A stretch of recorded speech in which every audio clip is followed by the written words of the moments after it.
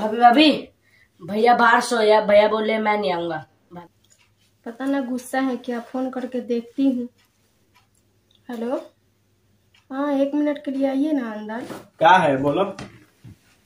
आप मुझसे नाराज़ है क्या? नहीं बिल्कुल नाराज़ नहीं। तुमसे क्यों नाराज़ हो कहेंगे बाहर सोए हैं आज। देखो सिंपल सी बात तुमसे कोई छुपाना नहीं है। हम किसी और से बात करते थे। मेरा गार्जियन जो है ज़बरदस्ती शादी तुमसे करा दिया। इसलिए हम तुम्हारे साथ नहीं रहना चाहते हैं। एक दो महीना हम लोग रह कर देखते हैं आपके साथ।